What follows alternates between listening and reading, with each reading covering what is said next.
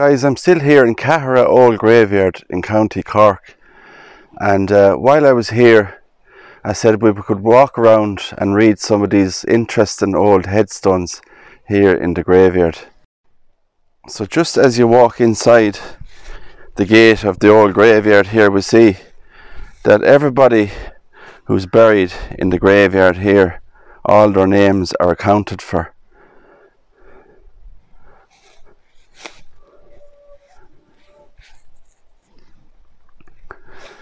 We just read that little bit there. It says the graveyard was most likely first used as a burial ground for an early monastic site, Blessed Mary de Caheragh, which was located on the small hill to the north of the graveyard. The earliest known record from this monastic site dates to 1317 when it was under the patronage of the Coggan family. Over time, the graveyard gradually came into use by general population. There is a small section on the right when you enter via the main gate, which was used by the local Protestant community, while the remainder of the graveyard served the Catholic population. The earliest surviving inscription dates from the 1700s, and burials still occur today in existing family plots. There is a wide variety of grave markers in the graveyard, ranging from the large mausoleums and vaults used by the local land owning families to the simple uninscribed stones that mark the graves of their tenants. So, very interesting.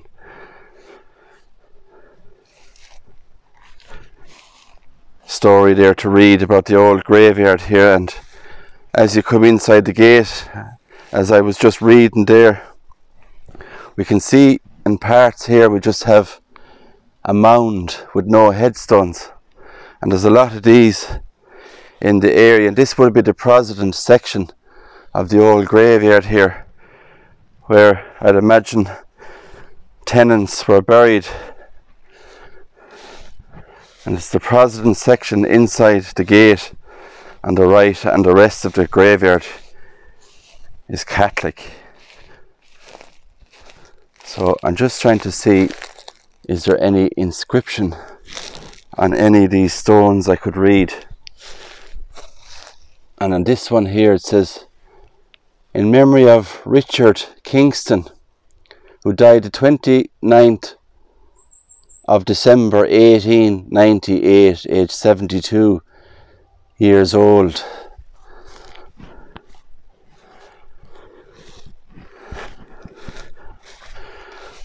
So there's a number of graves here on the president section.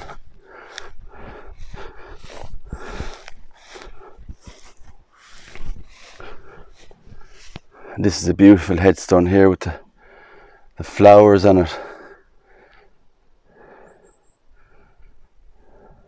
That orange lichen or lichen you call it. This is erected to the memory of Kate, beloved wife of Daniel Crowley, who died the 26th of March 1909, aged 63. Also above Daniel Crowley who died in 1932, maybe that looks like there. Some beautiful headstones. You see the figure of Jesus there on this one.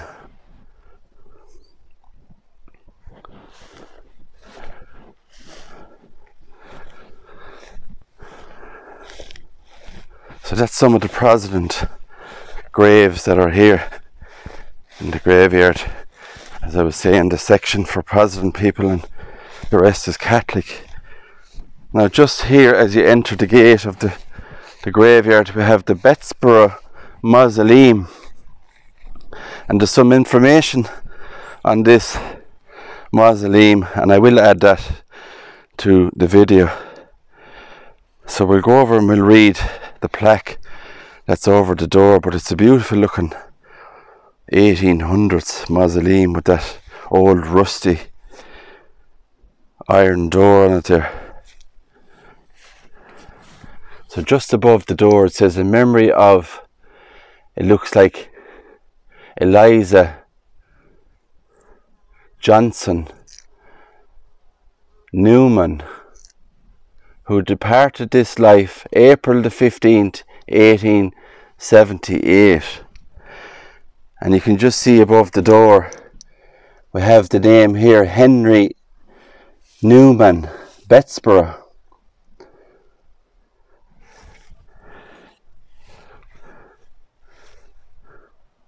Now, I did have a look inside with the camera we have that Sue has. The endoscopy scope. Endoscopic scope camera. We had a look inside, and it seems to be the case that inside the mausoleum there's a lot of water has built up inside in the mausoleum, and you can just see at the bottom of the door here what I'm talking about.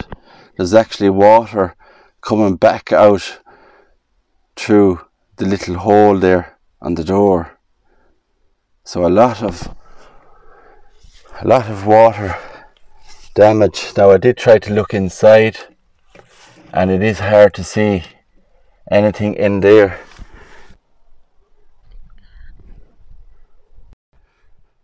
So we'll continue on our walk around the old graveyard here and I just noticed this lovely Celtic cross here that says loving memory of Michael J. Sullivan, White Plains, New York, died in August 1956. His sister Hannah is also buried there, and other members of the family.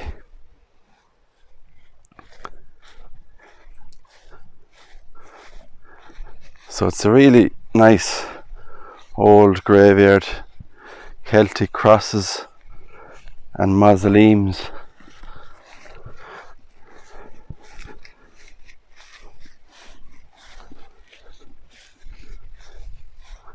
Now, I'll just go over and we'll look at this one here. This is a beautiful headstone. Sacred to the memory of John Crowley of Ballyoran, who died on November the 14th, 1896, aged 79 years old, erected by his loving wife Anne. John Joseph Crowley, who died August the 28th, 1985 and we can just see on the the headstone there that beautiful sculpture that's on it. A woman mourning it looks like over it could be an urn maybe or something like that. Like she's grieving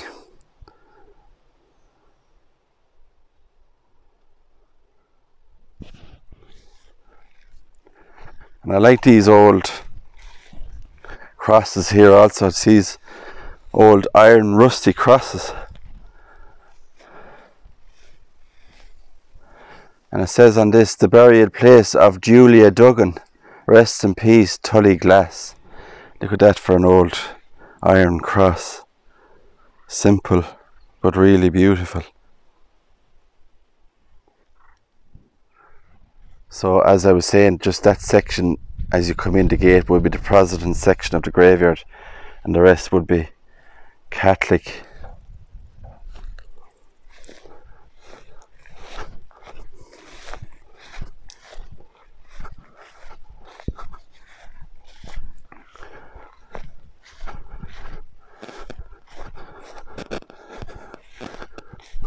So Serenity, Serenity Sue is on my walk today. So there's another beautiful headstone in the back in the back here with a lovely photo on it of horses in loving memory of Tom McCarthy Leap, who died the 20th of February 1961, age 82, and his sons are buried here also Johnny, Thomas, Jimmy, and Andy, and his daughter Elizabeth, who died in 1997, aged 76. But there's a beautiful photograph on the headstone of horses in a field. Really nice. Now I do believe there's a photo on the back, if I can get around here and show you. There's also a photo of three horses, a beautiful picture at the back of the headstone also. Look at that. And I'm sure these were his horses or he loved maybe racing and horses and breeding horses maybe and stuff like that. So the graveyard is kind of hard to get around in places. And we see this one here and all that remains of the rail is this part here. The old route iron railing there, look at that. And I'll try and get around and read this headstone if I can. I think it says on it there Daniel McCarthy. And unfortunately, everything else seems to have faded away on this. So McCarthy would be a well known name here in the area and County Cork also. Now I'm not sure is this a vault? It looks like a vault that's here guys, it's just put together by all these slate and stone and stuff. And it's very very old looking. And we can see that this big stone part here slab was left up against the entrance. So I'm sure that was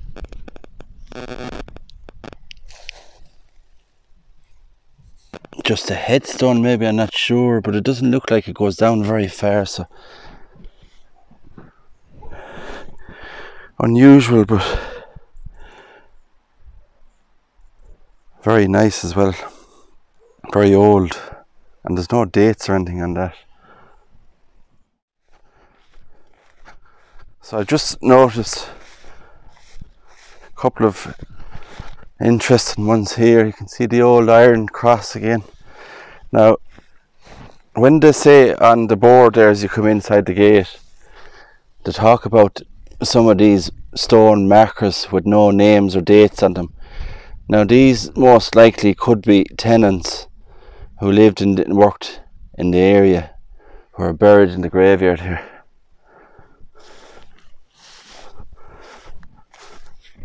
Now there is some notable people buried in the old graveyard here also. Well this is a more modern grave, but that's beautiful with the crucifixion there of Jesus. In loving memory of Patrick A. McCarthy, Bishop's Land, who died the 3rd of June 1969, and his wife Mary, who died in 1979 on the 28th of December. A lovely old headstone with a cross on it there. So this would be a new addition to the grave here.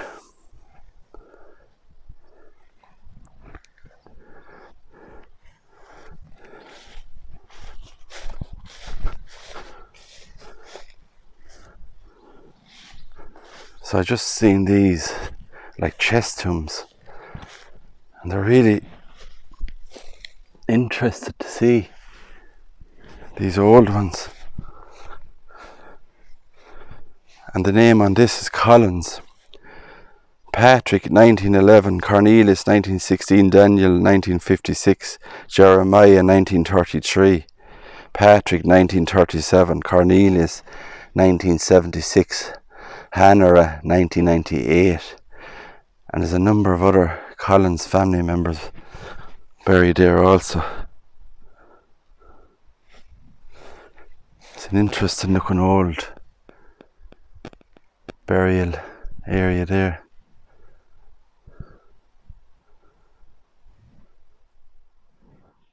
And just beside the Collins one, there's another stone slab here also. And there's an inscription on the top of it. William.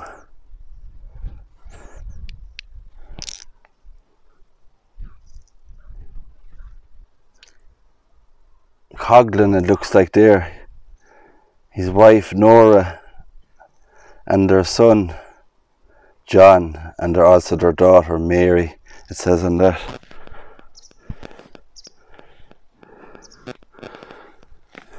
so as you can see it's hard to get around the old graveyard here. And there's tons of these mounds here burial mounds with no stone markers or nothing on them like that there you can see.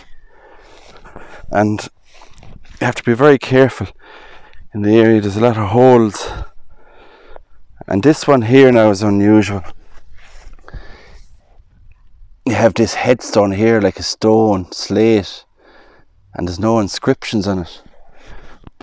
But just the other side of it then you have all that mound of clay and grass that lies up against it there. Now there's just a couple up around the area here. We'll look at now this is another one of those old like chest tomb kind of look. Graves and it's covered in ivy. And thorns and stuff. And just another one there beside it.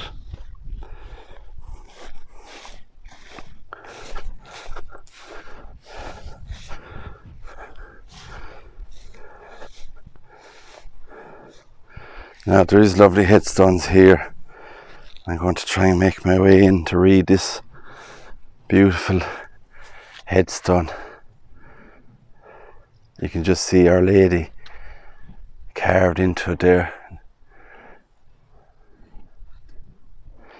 In memory of Dennis Sullivan, who died the 8th of March 1909, his children Jeremiah, Julia, Mary, Mary, who died in infancy, Patrick died in 1904, Dennis in 1906, William O'Sullivan 1949, age 73, and so on.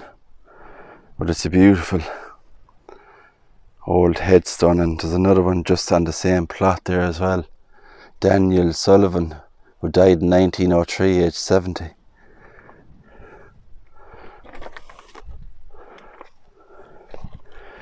There's some more of those grave sites there. Look at that, covered in ivy.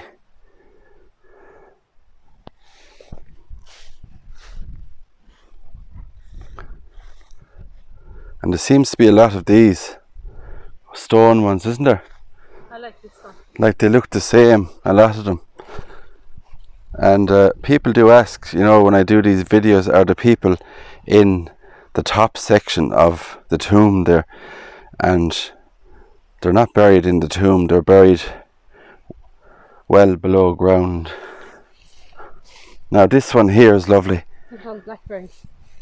All this look old railing around it, and the headstone there, and it's very high up, all this mound, isn't it? You have all this here, and blackberries, wild berries growing And you can eat them. and you can black and red berries and they're edible so they can be eaten all these berries here. Isn't it lovely to see all those old berries growing? The grave site. Uh, and I don't know if I can read the name on that but I'll try. Now it has faded a lot also and it's not possible to read unfortunately. It has faded away.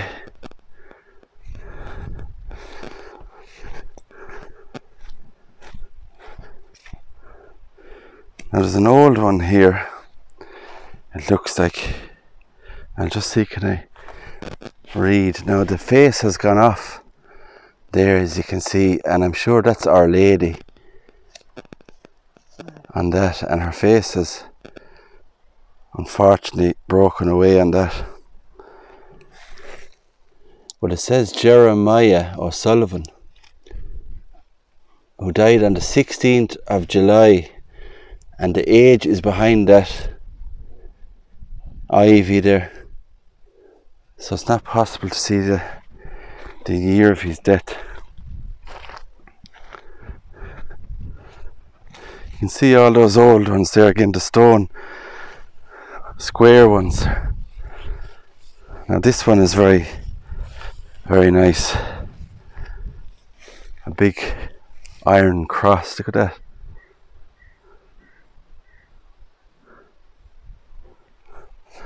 And there's a name on it up here. Horahan. Bartholomew died November the 6th, 1918, and Patrick died on June the 29th, 1969. Rest in peace, it says. And just down below, they've added a new marble part down here to the grave. Eugene, 1859 to 1934, and his wife Bridget Nee Collins of Glandore, 1857 to 1934, and also Patrick, who died in 1972, and his wife Ellen Maria, who died in 1977. But it's a lovely cross, isn't it? That wrought iron. The wrought iron cross, yeah. Now. Very uneven there. Lovely. There's four headstones in this plot. Beautiful white stone on it.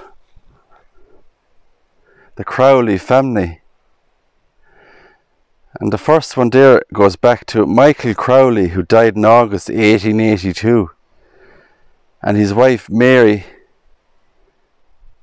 died also in 1882. Now that's very interesting.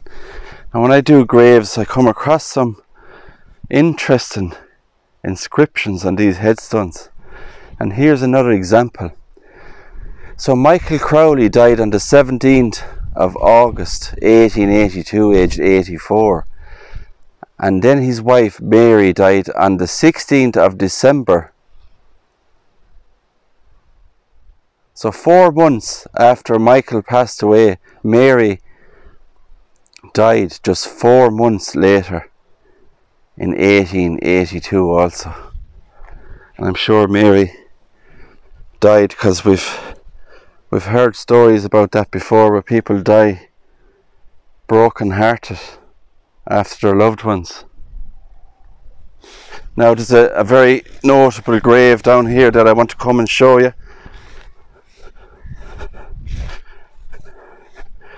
The O'Neill family and there's a bit of a connection to United States of America. And this one here.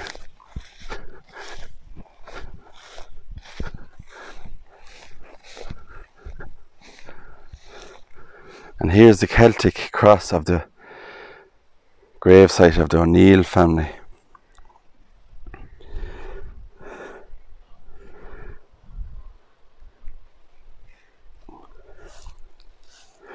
So Captain O'Neill visited Caheragh here in 1906 and commissioned this Celtic cross in memory of his parents who are buried here in Caheragh Old Graveyard. Daniel Francis was born in Caheragh in 1848 and left home at the age of 16, travelling and working in various locations. Before joining the police force in Chicago, he was appointed as Chief of Police there in 1901 and served in that office until 1905, when he retired from the force after 32 years in the police. He came from a musical family and began to collect Irish music and dance tunes while in the US, and with the help of others recorded many thousands of melodies over the decades. His Music of Ireland, as it was known, publication in 1903 featured 1,850 Irish tunes and went on to be reissued under various titles over the years and is still highly regarded by traditional musicians. He subsequently published many other volumes of Irish music and dance tunes that he recorded for posterity. Captain O'Neill is buried in Chicago, but he is commemorated in the townland of Ban in Caheragh by a life-size bronze memorial, bronze sorry, memorial of him depicted playing a flute. So that's the headstone. Here the Celtic cross and we'll read what it says on it, on the inscription. Erected by and you can see there Captain Daniel Francis O'Neill Chicago USA to the memory of his parents John O'Neill who died in November 1867, aged 66 years old, and Catherine O'Mahony, who died January 1900, aged 88 years old. So there we have a beautiful Celtic cross that was erected there to commemorate the life of his parents and himself a captain in Chicago in the police force for 32 years. So there's more interest in history. And this old graveyard here in County Cork.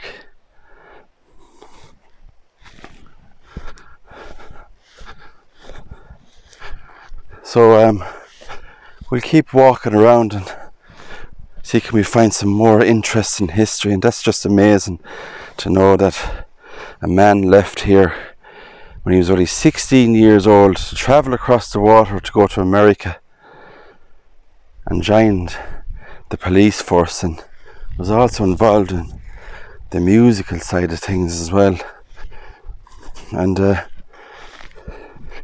and just being careful coming in around here look at this burial site here also, like a chest tomb up on top of this old hill here. Isn't that beautiful? The red brick, very, very old. And uh, I don't know if there's an inscription on the top of that, so I'm going to go around and have a look. And there's a hillside here, so I'm going to see can I hopefully read what it says on it. No, it is extremely hard to read unless I can see that in edit guys. I will put text over this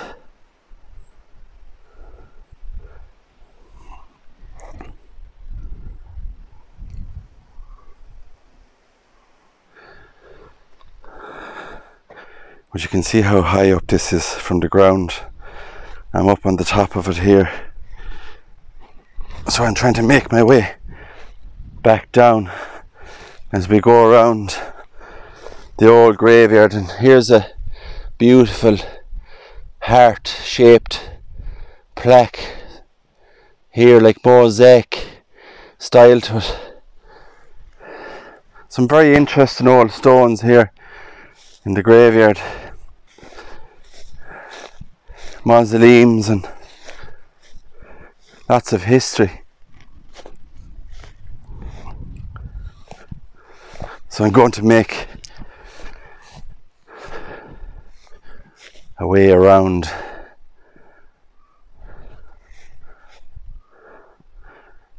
and read some more.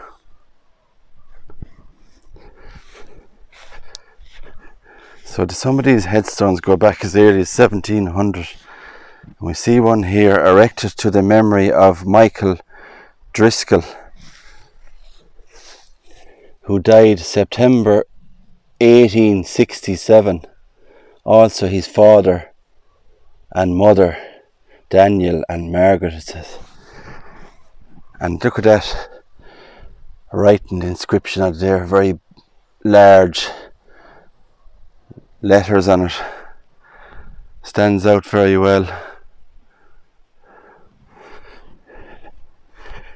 Now, another find here I just spotted is this headstone here in loving memory of Nicholas Sonny Keohan. B Company, 3rd Battalion, 1st Cork Brigade, Old IRA, who died the 2nd of September 1983, aged 89 years old. So he died very old. He was old when he died, but he was in the the Cork Brigade and the old IRA. So there's more history and the connection to Irish history back in the day. And the same namesake here, the surname Nicholas, the same name. In loving memory of Nicholas, his daughter Kate McCarthy, it says USA, also Patrick, and his wife Ellen also Dennis and Sean it says on it. Now we have a a military grave here. So see can I read the inscription? We see the the anchor. And this so we see he was involved in the Navy. D. Keohan P.O. first. And there's his number 211781 HMS Vivid 9th of February 1920 he died aged 39 years old beautiful military grave. And thank you for your service.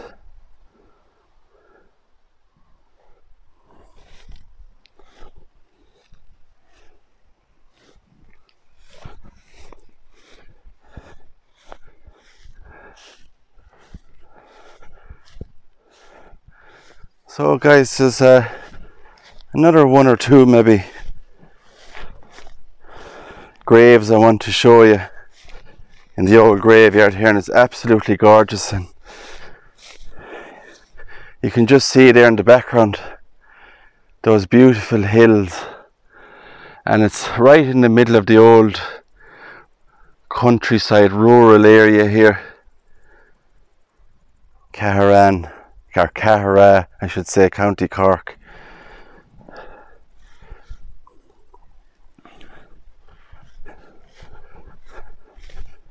So I'm going to make my way back over this direction and there's another one of those old crosses in memory of Mary C E A N Y Sani, who died in March, and her son Jeremiah in April 1908. Just a simple old cross.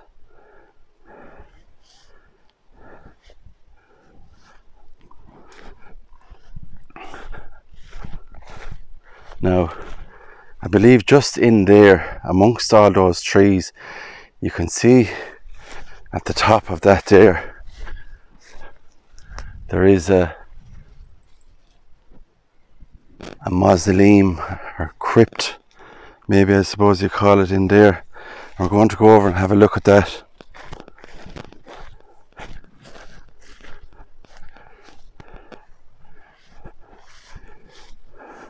So I just found this on my travels and look at that. An old mausoleum and I'd say what's up the top of that there is a chest type tomb with the name maybe and the inscriptions on that and it's covered in ivy. But just below that then you can see this old door here and those steps that lead down there. So I'm going to see can I get a closer look inside this? And I'll get back to you. So I'm going to go down the steps here. This old crypt and take a look inside and see what we can see. Now, I'm going to put the torch in here, guys, and see from closer inspection. Now, there is a couple of cobwebs there, so I need to clear. Now, if that could focus for me,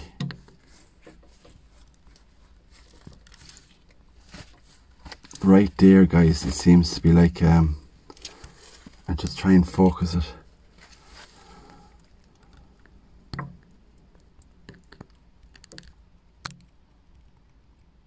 Just there, guys, you can see at the back of the crypt, it looks like a small miniature sized statue. And it could be Our Lady. And you can see how the vault was built with all that brick on the roof of it there and they made a kind of an altar at the back of it. It's like blue bricks as well, is it? It's a dark colour, black and red colour bricks and look at the top of the roof there. All that, what would you call that? Growing on top of the ceiling there. So just down below then if I can see in there, all the coffins have broken away and there's nothing at all left inside the vault here. So they wouldn't be lead coffins because they wouldn't have broken away like that. But now, who knows if that's pieces of bone there that's gathered in that side of the, the crypt. And just down on this side here, we can see more of that old coffins have broken away there also. Look at that we can actually see some form of a coffin there actually on the left just there I believe that could be a coffin Oh, it's definitely a coffin. It's like there's white cloth there as well. It could be cloth there also yeah. Very very old. Now, if you go down the bottom of the door, now but that altar area is amazing there and I don't know if I if I can zoom in. Will it pick that up? If I can go in a bit closer.